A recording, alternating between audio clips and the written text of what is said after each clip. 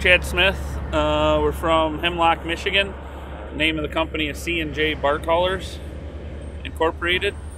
Um, we haul mulch, we haul milk, we haul lumber products, just a little bit of everything.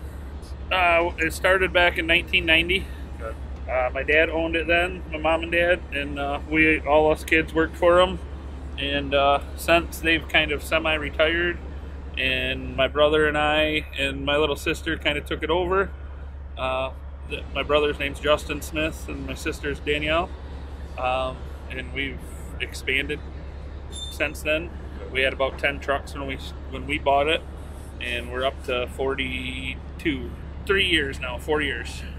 Wow, that's a quick. Uh quick bit of expansion. Has it all been with uh, company equipment, or is it owner operators? Uh, we have two owner operators. The rest is all company equipment.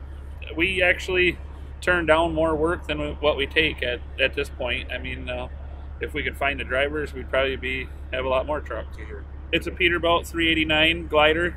Uh, just got it put together in September. Um, it's got 27,000 miles on it right now. I, I drive this myself there was a lot of people involved. Um, we did it quite a bit ourselves. Um, MBH Trucking in Webberville, Michigan, they did the motor and transmission and um, things like that. Um, for the most part, we kind of worked with them. Um, Caterpillar overhauled the motor. It's a 6NZ Cat 550, 13 speed. It's a 355. I see you're showing with uh, two. Uh, is this? Uh they're famous Michigan doubles. Yeah, it's called a B train. These are a flatbed B train. This is what we use to haul our lumber products. Uh, we haul shingles, um, treated board, um, dry lumber, flooring.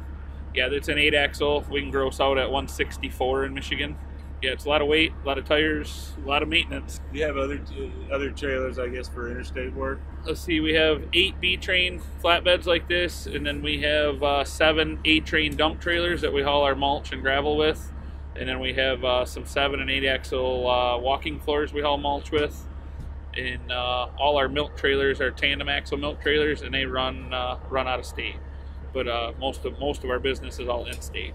No um, no team drivers in the, in the no we don't have no team drivers all single individual yeah. drivers um, what's the fleet uh, made up of in terms of the, the, trucks that you guys run we run um, we run some peterbilts uh, we run quite a lot of freightliners now um, just because of the detroit motors um, they're really good um, and we uh, we also have a couple kenworths not all gliders, I would guess. Uh, mo- there's there's a, quite a few. Probably half the fleet is glider what's the calculation there? Why, why go with the gliders? Uh, because we're we don't really uh, we don't really like the the Cummins motors with the DPF and everything on them. Um, we haven't had good luck nor fuel mileage with them. Um, also, the PACCARs haven't been the best for us.